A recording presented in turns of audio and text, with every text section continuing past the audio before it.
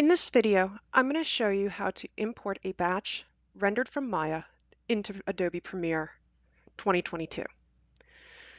In the previous video on my channel, I did show you how to batch render out of Maya, so this video is going to just focus on actually getting the batch directly into Premiere Pro.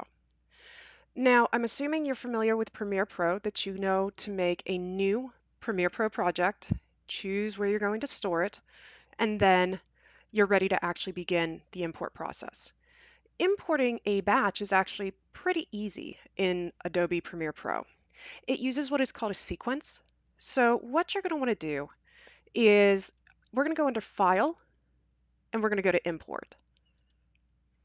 And what I'm going to do here is I'm just going to click on the first graphic of my overall batch render here.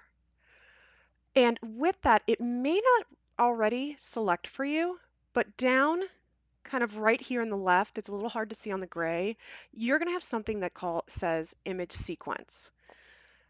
And what you're going to want to do is just click on that. You do not need to click on any other files once you've clicked on that. You just need to click on the first image in the entire batch. What Premiere is going to do is it is now going to go through and look for the subfiles or the subsequent batch files and follow through with those until it cannot find any more files that share the name and counting schema.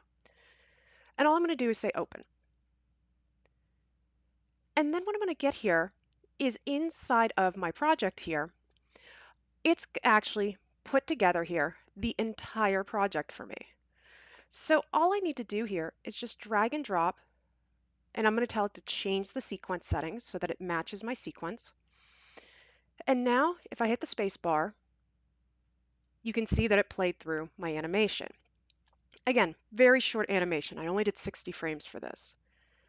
The last item to remind you of is you're going to want to go to the sequence itself, which again has the little different icon there as far as showing you the timeline examples. And I'm going to right click and I'm going to choose to export the media. This is the final step in the publication process.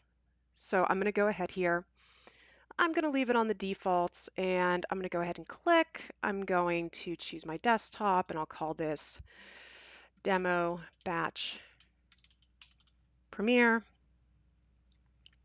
One nice thing about doing this, just as a side note, notice that I could have added audio if it was a longer batch. Also now, I could actually take the project and pull it into After Effects if I like.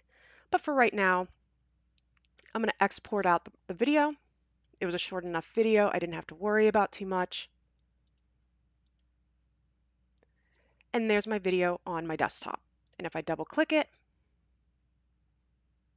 you can now see my exported video play.